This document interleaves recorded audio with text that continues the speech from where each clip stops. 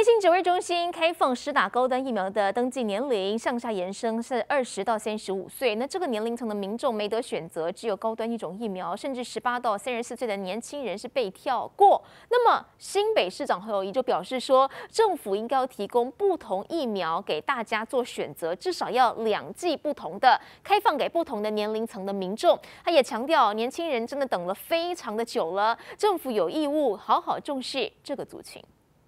疫苗的接种有一个非常重要的，那是一种对自己的健康的一个自愿性的选择。那政府有责任在疫苗的采购上，不但要采购品质好，质量也要够，更重要要快速。那面对这一波来势汹汹的疫情，我们政府在疫苗上常常有不足的现象。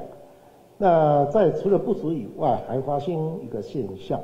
因为在这段时间，年轻的朋友其实等待了很久。那最近，在他们的选择上也只有一项。其实政府还是要有责任，多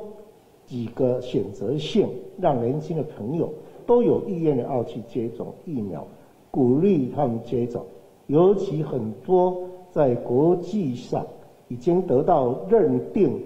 是有效的疫苗，他们也很多的期待，希望能够多重选择，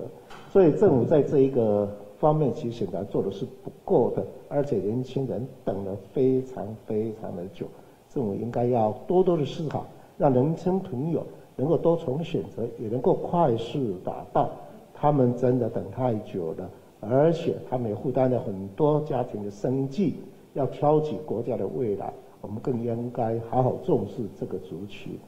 接下来聚焦是红海集团创办人郭台铭日前专程前往欧洲，亲自催货，要 B N T 疫苗赶快进来台湾。而传出我，第一批的疫苗渴望在中秋节前就会抵台了。指挥官陈志忠被问到这个问题，他只淡淡的说：“你知道，我不能说，好，因为呢，可能有一些保密的条约。”那么永林基金会的执行长刘幼彤则是低调的表示，他们会尽最大的努力，希望早日得到好消息。那个有媒体指出，第一批呃 B N T 疫苗可能在中秋节之前运抵台湾，可能有一百六十万到两百万剂，不晓得这个数量和时程是正确的吗？明知道我不能讲嘛哈，那那就是说还是一样哈，就是说我不否不否认的哈，那情形是乐是乐观的哈，那确定我会跟大家报告。